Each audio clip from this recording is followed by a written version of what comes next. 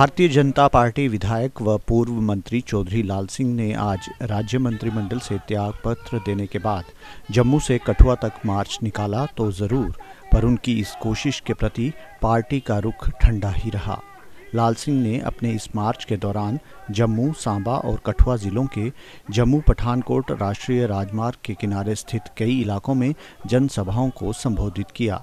जनता को संबोधित करते हुए लाल सिंह ने कहा कि यह इंसाफ के लिए लड़ी जा रही लड़ाई है और इसमें रसाना कांड के असली मुजरिमों को बेनकाब किया जाएगा।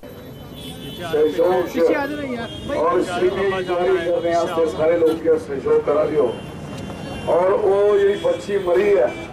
उस बच्ची का जरा दुख सारे उसी इंसाफ दवाने और गलत लोग जो पकड़े जान उन्हें छुड़ाने वास्ते तुम जरा करा रहे हो।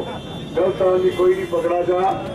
और जो भी लोग कॉरपोरेट में जो शामिल बड़े सख्त व सख्त सजा मिला हम रैली नहीं निकाल रहे हम अपने घर जा रहे हैं और रास्ते में जो हमें मिलना चाहे मिल लेंगे।